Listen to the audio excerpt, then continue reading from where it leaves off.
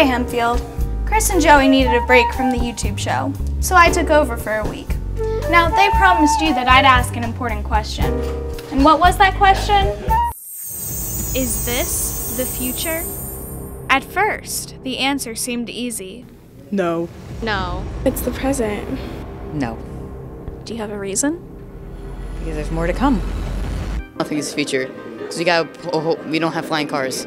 But is it really that simple? Yes, Why? because the future is now, and now is now.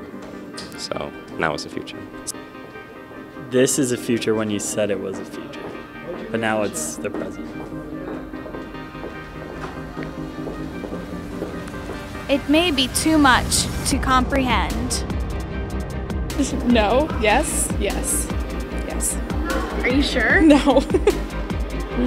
No, because it's the present. Did you know Back to the Future, the movie? Is this the future? This is the past. Why? What is the point of this question? It's asking question. if this is the future. This is the future? No, this is the present. Yes, Why? because there's been a past. Actually, no, this is the present because. Wait. Wait. This is confusing. This is the present. Thanks for watching. Make sure you subscribe to Chris and Joe's YouTube show and catch them next week as they have a spooky and scary Halloween show.